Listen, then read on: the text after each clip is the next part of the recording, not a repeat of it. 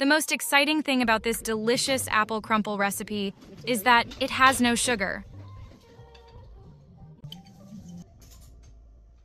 You need two apples, one teaspoon of ground cinnamon, two tablespoons of honey, 200 grams of softened unsalted butter, and 200 grams of plain flour.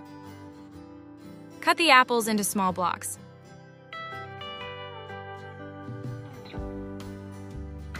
Add the cinnamon and give it a good mix.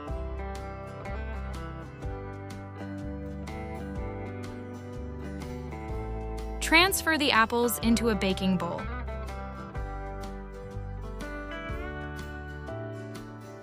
Then add the butter into the flour and mix until the flour has a crumbly texture.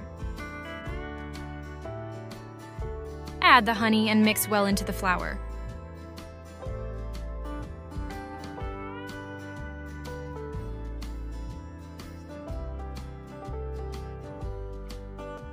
Preheat the oven to 180 degrees Celsius on fan, which is about 356 degrees Fahrenheit. Cover the apple with the flour mix and spread them out to avoid excessive air in between.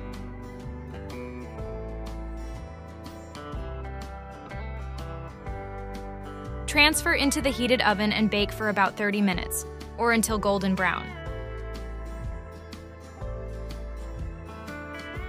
Leave to cool down before serving. Thank you for watching. Please like and subscribe.